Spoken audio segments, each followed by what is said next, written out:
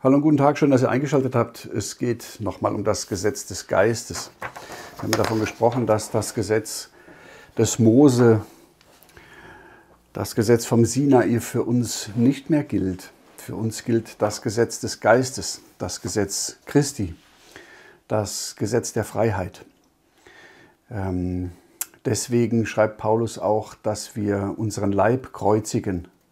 Warum schreibt er das? Das ist ja äh, kein Masochismus, von dem er da spricht, ja? sondern er schreibt das aus einem ganz bestimmten Grund. Er schreibt das, weil Christus seinen Leib gekreuzigt hat und weil wir zu Christus gehören, weil wir seine Gemeinde sind, weil die Gemeinde Jesu der Leib Jesu Christi ist. Deswegen soll die Gemeinde in Gleichheit des Wesens wandeln und auch seinen Leib kreuzigen und die Lüste und Begierden äh, kreuzigen. Ja, äh, Paulus bezieht sich hier nicht aufs mosaische Gesetz und zitiert diese ganzen 613 Gebote. Das müsste er ja normalerweise machen als Rabbiner. Und wenn das Gesetz für uns noch gelten würde, das mosaische Gesetz, dann äh, müsste Paulus eigentlich im Neuen Testament über viele Seiten hinweg, eigentlich genauso viel wie im Talmud steht, über das Gesetz des Mose sprechen. Tut er aber nicht. Paulus macht ein ganz neues Gesetz auf. Paulus spricht von einem Gesetz des Geistes das das Gesetz des Buchstabens abgelöst hat. Er nennt das Gesetz vom Sinai das Gesetz, das in Buchstaben gestellt war. Äh, er nennt das das Gesetz der Sünde und des Todes. Er sagt, dass durchs Gesetz Erkenntnis der Sünde kommt, aber keine Besserung. Ähm, und er macht äh, einen neuen Weg auf. Paulus schreibt von einem neuen Gesetz, nämlich von diesem Gesetz des Geistes. Und da möchte ich euch kurz ein bisschen vorlesen drüber äh, aus Römer 7. Da bezieht er sich jetzt aufs Gesetz vom Sinai und legt das geistlich aus. Ja? Hört mal genau zu. Wisset ihr nicht, liebe Brüder, denn ich rede mit solchen, die das Gesetz kennen, die das Gesetz wissen, sagt Luther, also das Gesetz des Moses, das Gesetz vom Sinai. Wisset ihr nicht, liebe Brüder, dass das Gesetz herrscht über den Menschen, solange er lebt? Denn ein Weib, das unter dem Manne ist, ist an ihn gebunden durch das Gesetz, solange der Mann lebt. Wenn aber der Mann stirbt, so ist sie los vom Gesetz, das den Mann betrifft. Wenn sie nun eines anderen Mannes wird, solange der Mann lebt, so wird sie eine Ehebrecherin geheißen. Wenn aber der Mann stirbt, ist sie frei vom Gesetz, dass sie nicht eine Ehebrecherin ist, wenn sie eines anderen Mannes wird. Also seid auch ihr, meine Brüder, getötet dem Gesetz durch den Leib Christi, dass ihr eines anderen seid, nämlich des, der von den Toten auferweckt ist, auf dass wir Gott Frucht bringen. Gott Frucht bringen, dieser Begriff Frucht bringen, der steht eigentlich im direkten Widersatz zu dem, wenn es in der Bibel heißt, wer das Gesetz tut, der wird leben. Paulus schreibt, dass wir im Neuen, Paulus schreibt in seinen Briefen nicht, dass wir das Gesetz tun sollen, sondern er sagt, dass wir Frucht bringen sollen. Das ist etwas ganz anderes. Und wenn wir mal vorne in dem ersten Vers nochmal anfangen, dann schreibt er, wisset ihr nicht, liebe Brüder, denn ich rede mit solchen, die das Gesetz wissen, dass das Gesetz herrscht über den Menschen, solange er lebt. Das ist das, was ich sage. Das Gesetz gilt nur auf Erden und gilt nur ähm, während, oder ich sage mal für den irdischen Menschen aber nicht für den Wiedergeborenen, nicht für, den, für die neue Natur, nicht für den Menschen, der in Christus gezeugt ist. Für den gilt das Gesetz nicht. Das Gesetz hat an dem auch gar nichts auszusetzen. Warum nicht? Weil dieser neue Mensch, der in Christus ist, in uns, der ist perfekt. Das Gesetz, wenn das Gesetz ähm, den, den, den neuen Menschen sieht, dann sagt das Gesetz, an dem habe ich gar nichts auszusetzen. Warum? Erstens, weil er in Christus ist, der für unsere Sünden bezahlt hat. Und zweitens mal ist dieser neue Mensch nach dem Bilde Gottes geschaffen. Der ist durch Gottes Geist geschaffen. Der ist sogar aus dem Wort gezeugt. Ja, und damit entspricht er dem Wort. Und damit entspricht er auch dem mosaischen Gesetz, denn das ist auch Wort Gottes. Ja? Die, das Gesetz selbst drückt Gottes Wesen aus. Ja, die Frage ist ja, was ist denn das Gesetz? Ist das nur eine Ansammlung von moralischen Grundsätzen? Ja? Oder was ist Gesetz überhaupt? Das Gesetz drückt Gottes Willen aus und Gottes Wille spiegelt Gottes Wesen wider. Gottes Wesen ist Liebe Und deswegen erfüllt der, der liebt, auch das Gesetz. Das ist die geistlich-logische Schlussfolgerung aus dem, was wir im Neuen Testament lesen. Zum Glück lesen beim Paulus. Manchmal denke ich, ein großes Glück war, dass der, dass der Paulus verhaftet worden ist, weil dadurch hat er Zeit, seine Briefe zu schreiben, damit wir die haben heute. Weil wenn das nicht in der Bibel stünde, ja, wenn auch im Neuen Testament, dann würde das überhaupt niemand glauben. Also heute schon zweimal nicht, ja. Jetzt spricht Paulus die Römer an aufs Gesetz. Und er sagt, ihr kennt ja das Gesetz. Und das Gesetz herrscht über den Menschen, solange er lebt. Aber wenn der Mensch gestorben ist, dann gilt das Gesetz nicht mehr. Ja? Und jetzt macht er eine Anwendung und sagt, denn eine Frau, ein Weib, das unter dem Manne ist, ist an ihn gebunden durch das Gesetz, solange der Mann lebt. Wenn aber der Mann stirbt, dann ist sie los vom Gesetz, das den Mann betrifft. Wenn sie nun eines anderen Mannes wird, solange der Mann lebt, dann wird sie eine Ehebrecherin geheißen. Wenn aber der Mann stirbt, dann ist sie frei vom Gesetz. Die Frau, dieses Weib, die Frau, das ist die Gemeinde Jesu, sind die Menschen, die an Jesus Christus glauben. Und der Mann ist Christus. Christus ist gestorben und damit ist die Frau frei. Die ist frei vom Gesetz, was den Mann betrifft, ja, und darf eines anderen werden. Und so erklärt der Paulus das auch und sagt, ähm, wenn der Mann stirbt, dann ist sie frei vom Gesetz. Dass sie nicht eine Ehebrecherin ist, wenn sie eines anderen Mannes wird. Da klingt so ein bisschen der neue Bund an, ja? sonst bräuchten wir gar kein neues Testament, keinen neuen Bund. Der neue Bund ist deswegen gekommen, weil Christus gestorben ist und auferstanden ist und ihn nun niemand mehr kennt, sagt Paulus. Auch wenn wir Christus nach dem Fleisch gekannt haben, so kennt ihn doch nun niemand mehr, weil er der auferstandene Christus ist, ja, der mit Gott eins ist. Also seid auch ihr, meine Brüder, getötet dem Gesetz durch den Leib Christi, dass ihr eines anderen seid, nämlich des, der von den Toten auferstanden ist. Ja? Das heißt, Christus ist von den Toten auferstanden, er ist gestorben. Ähm, die, die Glaubensgemeinde ist vom Gesetz befreit und gehört nun dem auferstandenen Christus. Und deswegen ist ihr Gesetz auch nicht mehr in Buchstaben gestellt wie am Sinai, sondern unser Gesetz ist eine Person.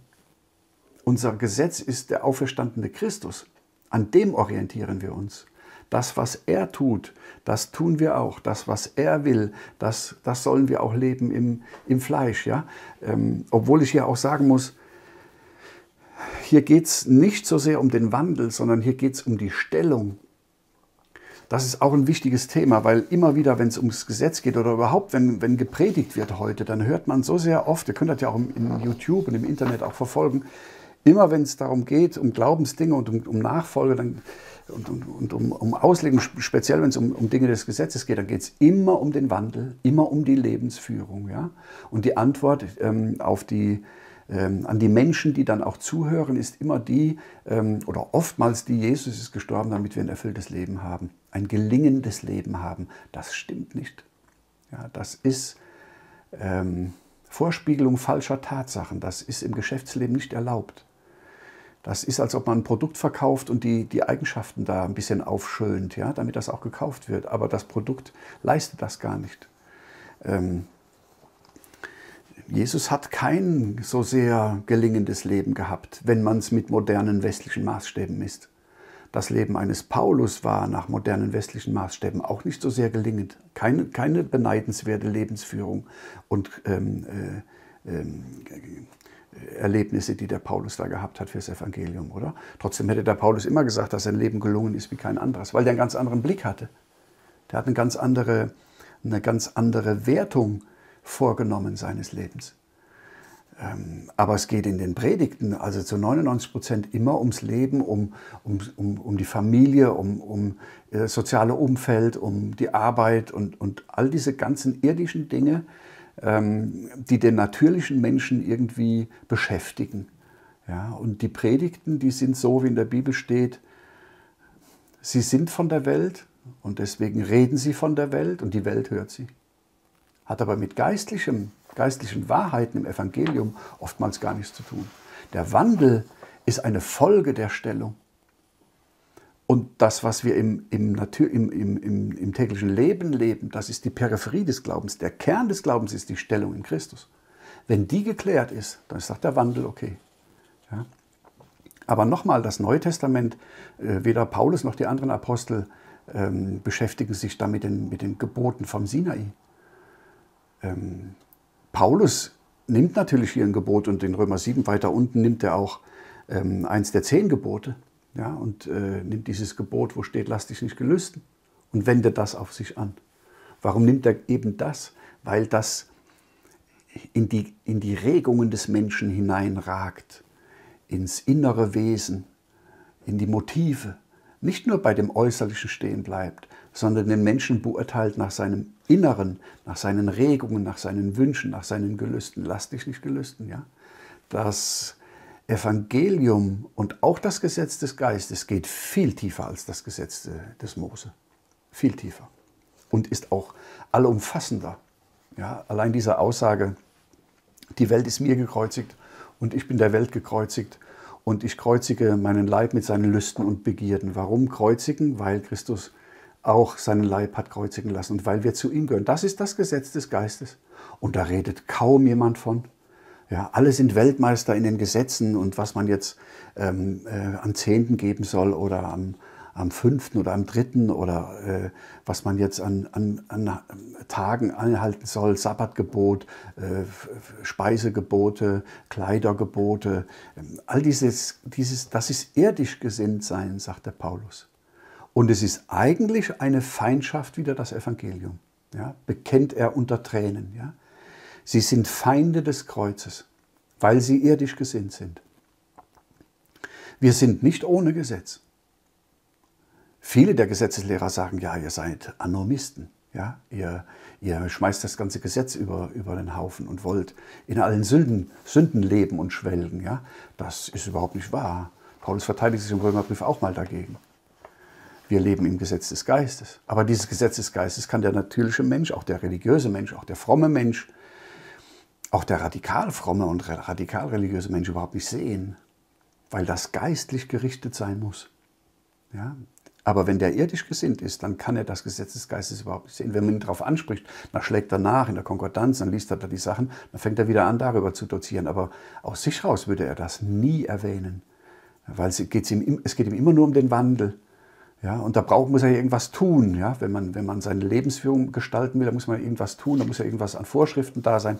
Ja, und dann findet er nichts anderes als die zehn Gebote. Und zum Schluss, wenn er es konsequent macht, müsste er alle 613, ob 613 ist, weiß ja niemand, ja, ist ja eine Talmud-Sache. Ähm, kann man so nicht, nicht äh, final sagen. Aber wenn es denn dann nun 613 Gesetze sein sollen vom Sinai, dann müssten die alle durchdekliniert werden. Ja? Und das, was wir hier, was wir, was wir dann hören von den Gesetzelehrern, ist überhaupt nicht konsequent. Die müssten ja mal konsequent bis zum Schluss gehen. Also seid auch hier, meine Brüder, getötet dem Gesetz durch den Leib Christi. Ah, hier, hier, bohrt einer, ja, dürft euch nicht stören lassen von, ja. Irgendjemand ist da auch am, am Wandeln. Also seid auch ihr, meine Brüder, getötet dem Gesetz durch den Leib Christi, dass ihr eines anderen seid nämlich des, der von den Toten auferweckt ist, dass wir Gott Frucht bringen, nicht, dass wir sein Gesetz halten. Denn als wir im Fleisch waren, da waren die sündlichen Lüste, welche durchs Gesetz sich erregten, kräftig in unseren Gliedern dem Tod Frucht zu bringen, dem Tod. Nun aber sind wir vom Gesetz los und wir sind dem Gesetz abgestorben, das uns gefangen hielt, weil unser alter Mensch, auf den, sich das, auf den das Gesetz auch gilt und anzuwenden ist, weil der mit Christus gestorben ist, ja? Im, Im Geist und in Wahrheit. Das ist noch nicht sichtbar. Aber Paulus sagt, haltet euch dem Gesetz für gestorben. Rechnet euch so, als ob ihr dem Gesetz gestorben wäret. Nun aber sind wir vom Gesetz los und sind ihm abgestorben, das uns gefangen hielt. Also, dass wir dienen sollen im neuen Wesen des Geistes und nicht im alten Wesen des Buchstabens. Hört ihr den Unterschied? Christus ist unser Gesetz. Wir sind von dem Gesetz der Sünde und des Todes los. Wir sind frei gemacht. Ja, wir sind frei gemacht, um Gott Frucht zu bringen und um ihm ähm, nachzuleben. Die Aufgabe des Christen ist nicht, die zehn Gebote zu erfüllen. Die Aufgabe des Christen ist, Christus darzustellen. Das ist die Aufgabe des Christen und gar nichts anderes. Das ist ein ganz zentraler Unterschied und ein kompletter, äh, eine komplett neue Theologie, Lehre, wie will man denn da sagen zu? Das, was Paulus schreibt, das schreibt er vom Himmel herab. Das sind geistliche Worte, die er schreibt. Natürlich fasst er die in Buchstaben, ja, aber das, was er ausdrückt, atmet etwas ganz Neues, einen ganz neuen Geist. Und Paulus verwendet hier ein Gesetz vom Sinai und sagt, wisset ihr nicht, liebe Brüder, denn ich rede mit solchen, die das Gesetz wissen, dass das Gesetz herrscht über den Menschen, solange er lebt, denn eine Frau, die unter dem Mann ist, ist gebunden an ihn durch das Gesetz und so weiter. Aber Paulus spricht jetzt nicht über die Ehe und über Eheführung und über gelingende Ehe und über ähm, Eheseminare. Das würde ein Rabbiner jetzt tun. Ja? Paulus spricht hier über eine geistliche Wahrheit. Der verwendet das Gesetz geistlich. Der legt in diese Dinge, nein, der legt das, das Gesetz geistlich aus. Und zwar auf das Verhältnis zwischen Christus und der Gemeinde. Ja? Und er sagt, äh, die, die in der Gemeinde, zur Gemeinde Jesu gehören, die dürfen wissen, dass ihr alter Mensch mit Christus mitgestorben ist und begraben ist und mit Christus auferstanden ist. Und dass er in Neuheit des Wesens wandeln darf. Und dass wir Gottfrucht bringen in Christus. Ja? Und er bindet das auch immer alles an Jesus Christus. Hier schreibt Paulus davon, dass der alte Bund, der unterm Gesetz war, beendet ist und in Christus ein neuer Bund begonnen hat. Dieser neue Bund gilt nur für die Gemeinde Jesu, die gilt nicht für Israel, die gilt nicht für die Juden, wenn sie Juden bleiben, gilt auch nicht für Muslime und auch für keine anderen Menschen. Für alle Menschen auf der Welt gilt das Gesetz vom Sinai. Ja? Das Gesetz gilt, damit aller Welt Mund verschlossen werde. Ja? Und alle Welt Gott schuldig sei. Aber der, der, der an Jesus Christus glaubt und der wiedergeboren ist, der darf mit Christus mitgestorben sein und darf mit Christus auferstanden sein und darf mit Christus leben. Und zwar jetzt hier schon im Fleisch. Und seine Aufgabe ist, Christus im Fleisch darzustellen. Warum? Weil wir zu Christus gehören, weil wir sein Leib sind. Was sollen wir anders darstellen als Christus? Warum wenden wir uns wieder zurück zum Alten Testament und zu den, zu den mangelhaften Geboten? ja, und zu den, zu den Elementen dieser Welt. Aber das verstehen die Gesetzeslehrer überhaupt nicht. Ja. Paulus benutzt hier das Gesetz, um zu zeigen, dass der alte Bund vorbei ist. Das Gesetz bezeugt, dass das Gesetz beendet ist. Ist das nicht ein Hammer? Das Gesetz bezeugt, dass das Gesetz zu Ende ist. Für alle die, die an Jesus glauben. Der Hebräerbrief macht das anders. Der Hebräerbrief sagt, das Priestertum hat sich geändert. Ja? Das Priestertum hat sich geändert vom aaronitisch-levitischen Priestertum zum ewigen Priestertum des Melchisedeks, ohne Anfang, ohne Ende, der ein Königpriester ist. Ja? Christus.